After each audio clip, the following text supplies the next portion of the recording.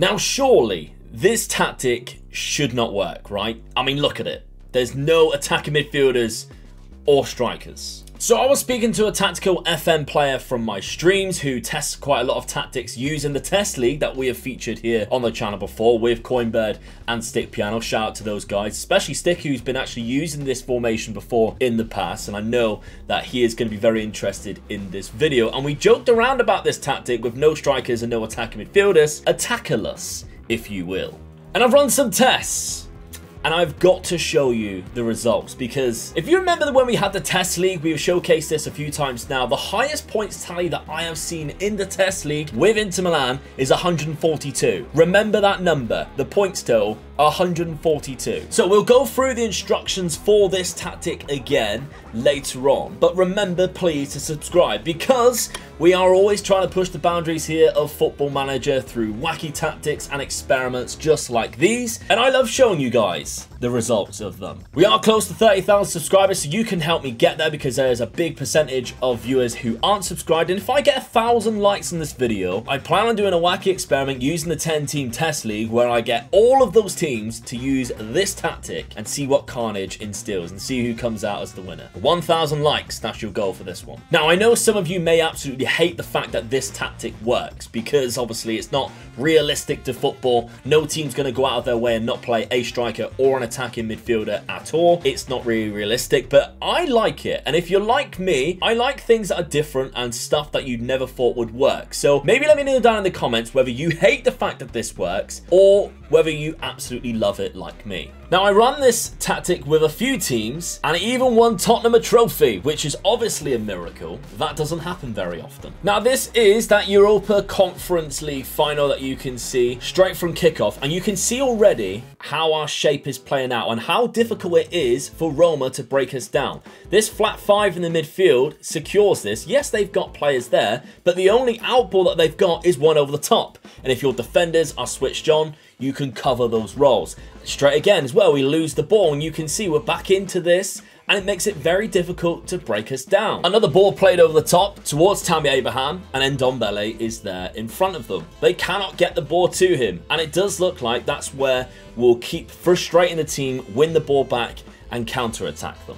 Now, when we're in attack, you can see here, despite the fact that we have no attackers, you will find because of the roles that are on attacking, you have a lot of players running forward. Especially the two Mezzalas, they seem to drift wide as well alongside your inverted wingers and it creates overloads on each side of the pitch. And you'll notice that through some of the goals that we're going to take a look at today. Now, some of the main important roles in this tactic, and I will make it available, by the way, to download down in the description. The roaming playmaker has to be somewhat defensive as well as a bit of a ball player, so make sure you have that type of player in your squad. The midfielders, these three in the middle, it would be a good idea if they had decent finishing because they're going to be the ones that put away a lot of chances. You can see here when I'm using Tottenham, I've put Harry Kane in that centre midfield on attack. He's going to be the most central player and he, has, he obviously has 19 for finishing. And when he breaks away, he scored 27 Premier League goals, 40 goals in total across the season. It's also quite a good idea that despite these wingers being inverted wingers, that if you're playing on the right-hand side to have a right-footed player and if you're playing on the left-hand side, have a left-footed player. The main reason for that is when these guys get the ball in the box, it's nice for them to have cutbacks for these three players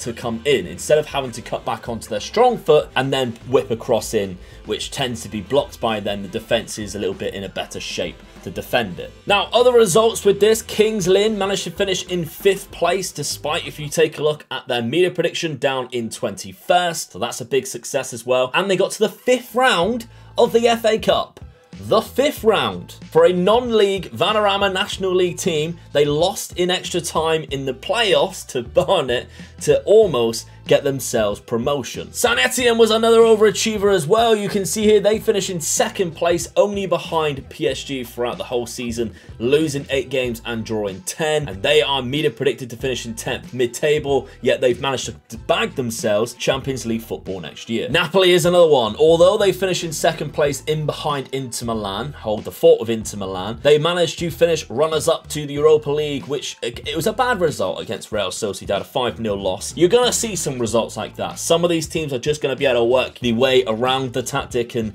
and kind of suss it out. And to be honest, Sociedad have a great team, but the fact that they managed to get there and finish in second place and have some unbelievable results along the way, that you're going to see a lot of goals in this tactic, even despite you not actually having any strikers or center, it's all centre midfielders, obviously no no strikers or centre attack midfielders. They, they put five past Leicester in the semi-final first leg and then four past them in the away leg. If we take a look at the data hub for the Tottenham Hotspur season, the attack efficiency shows how far out this tactic is in aggressive shooting and clinical shooting. Now, they might not have had the most shots per game, that's Liverpool, and you kind of expect that, but the conversion rate for the shots shows that the chances that they are creating are a lot better than some of the shots that the other teams are taking. You're not hitting long shots from outside the box. You tend to find runners going through in that box area, and I'll show you again if we go to this tactic. You're going to find your Mezzala around about here. You're going to find the inverted winger around about here. That creates overloads for the centre midfielder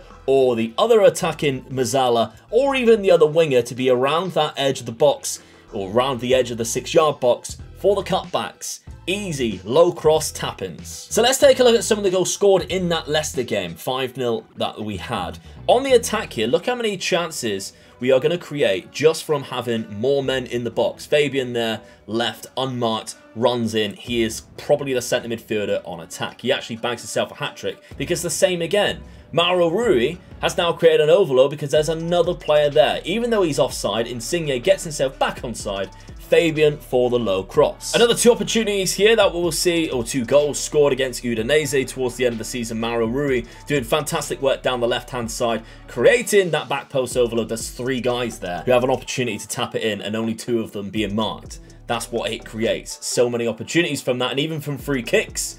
You've got so many men forward, so many men in the box. A little pass in there, that's quite a clever goal. Now, remember I said about the Test League, 142 was the highest goals tally that I have seen so far. Well, look at this. 165. Yes, I cannot quite believe it myself. Out of the 72 games played in this 10, 10 team test league, they only lost 11 games and they drew 9 finished on 165. Despite Man United and Liverpool both having decent seasons, that's very high for Manchester United. Remember, we're expecting to see points per game above 1.8, and anything around 140 is definitely a success, and it's slightly a success even if you just beat Liverpool to top the league. But 165, I spoke to Stick, I spoke to SNG, they said that's the highest that they've ever seen. They've never seen something above 150 until we tested this tactic. Statistically, it scored the most goals. It had the fewest shots against, showing how good it is defensively. The fewest conceded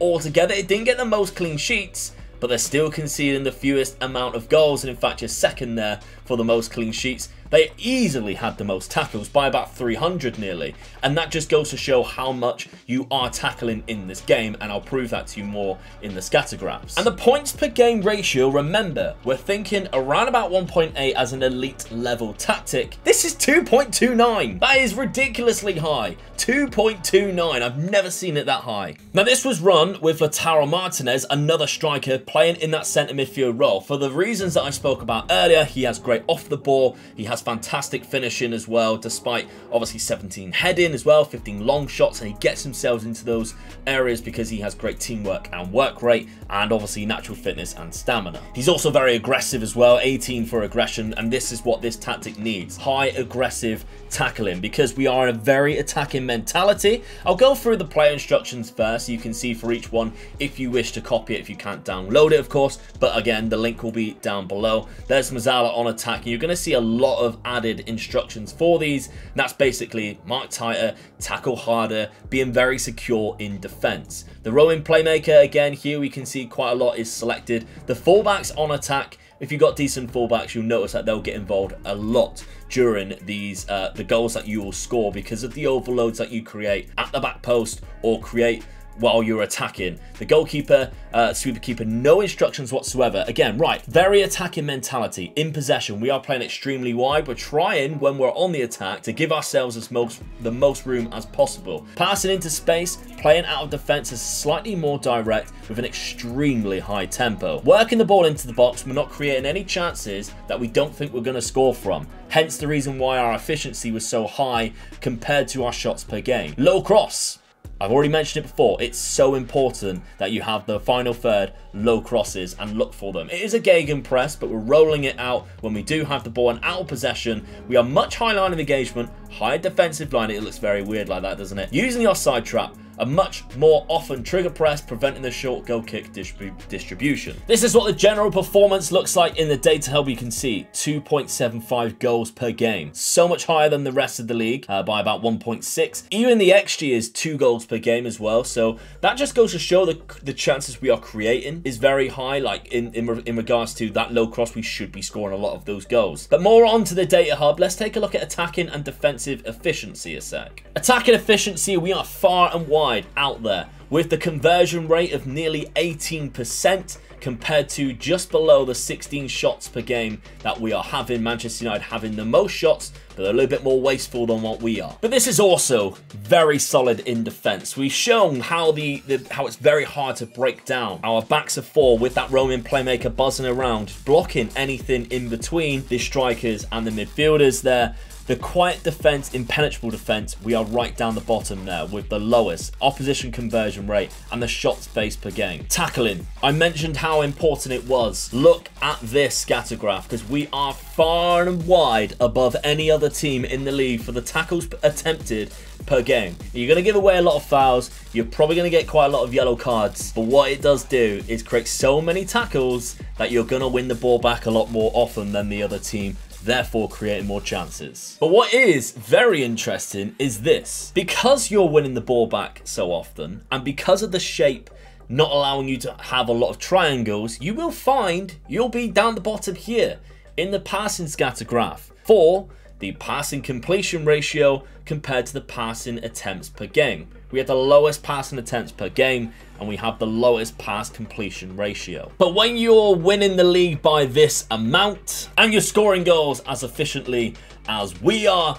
with goals like this, then it's very hard to argue how good this tactic really is despite how bad it looks. It just creates so many chances, so many ways of defending properly. It's it's absolutely sublime to watch. And by the way, I want to show you how good this goal is again. Lovely little intricate play from the two midfielders, but Christian Eriksen, that is naughty. A lovely chip over the goalkeeper there in off the bar. This, this tactic is absolutely fantastic, viewers. So yes, let me know your thoughts on this tactic beside me right now. Do you like it? Do you like the fact that it works? Do you hate it? I absolutely love it. And remember, 1,000 likes and we'll do an experiment where every single team in the test league uses this tactic throughout the whole season. I'll, I'll make sure every manager cannot be sacked, so it guarantees every team is using this, and we'll just see the carnage that ensues. Thank you very much for watching. Make sure you watch this video with another tactic in the test league that is absolutely insane right now.